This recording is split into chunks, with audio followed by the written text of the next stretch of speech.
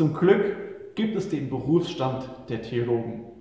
Denn wir sollten ein einfaches Gemeindemitglied, der wirklich beurteilen, was in der Bibel auch heute noch gilt, was einfach nur zeitbedingt Ausdruck der antiken Kultur von damals ist und was wirklich dem Schöpferwillen Gottes entspricht, zeitlos bis heute auch noch gilt und für uns verbindlich ist.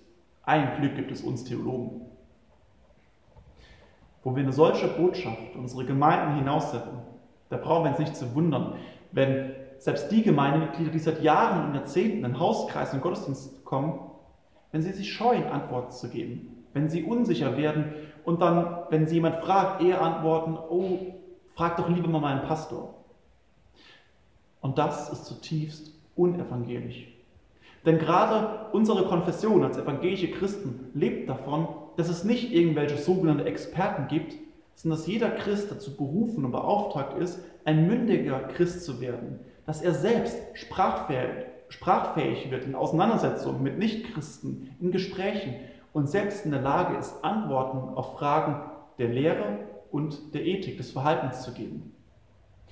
Die Reformation von Martin Luther hat gerade dort drin ja auch ihren Ursprung, dass er sich nicht irgendwelchen kirchlichen Autoritäten unterordnen wollte, dass er nicht einfach nur dem Papst oder den Konzilien gehorsam sein wollte, wenn er zu einer anderen Überzeugung gelangt ist, begründet mit der Heiligen Schrift.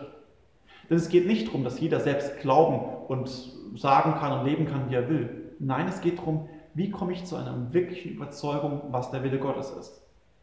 Martin Luther hat auf dem Wormser Reichstag im April 1521 den Satz gesagt, wenn ich durch Zeugnisse, wenn ich nicht durch Zeugnisse der Heiligen Schrift unklare Vernunftgründe überwunden werde, so bin ich durch die von mir angeführten Stellen in der Heiligen Schrift überwunden und mein Gewissen ist gefangen im Wort Gottes dies war und ist und sollte nach wie vor unsere Formel in der Auslegung der Hermeneutik sein, unabhängig davon, ob ich Theologie studiert habe oder nicht. Denn davon sollen wir heute noch lernen. Das heißt, wie können wir das sichtbar machen? Wie sollen wir umgehen bei Auslegung der Heiligen Schrift? Also Martin Luther sagt, der Ausgangspunkt ist immer die Bibel.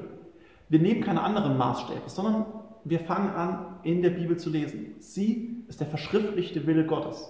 Hier lesen wir drin, was Gott von uns will, schwarz auf weiß.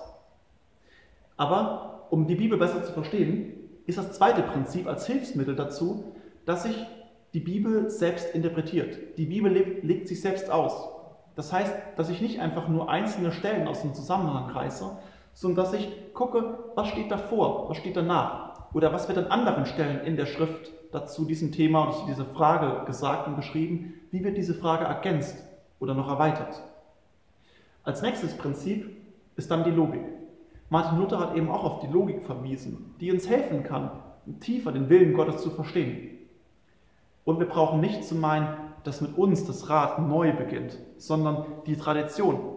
Sie ist das, wo Gott eine Gemeinde zusammengestellt hat, uns als Brüder und Schwestern in der Gemeinde zusammengestellt hat, wirklich ihm nachzufolgen. Die Tradition ist eine Hilfe für uns.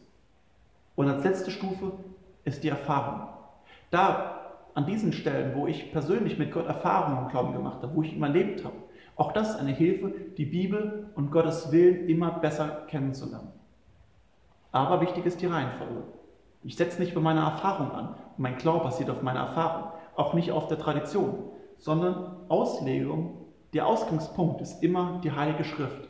Und diese anderen Hilfslinien sind wie konzentrische Kreise, die uns helfen, immer tiefer den schwarz auf weiß verschriftlichten Willen Gottes besser zu verstehen.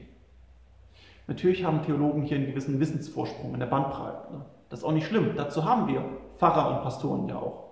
Aber das Entscheidende ist, dass nicht ihr Urteil gilt, sondern jeder einzelne Christ aufgefordert ist, täglich in der Bibel zu lesen, aus dieser Kraftquelle zu schöpfen, darin zu lesen zu lernen. Und dass unser Vorbild ist, so wie Martin Luther es gesagt hat, dass unser Gewissen immer tiefer gefangen ist im Wort Gottes. Darum sollten wir hier ringen. Das ist wirklich evangelisch.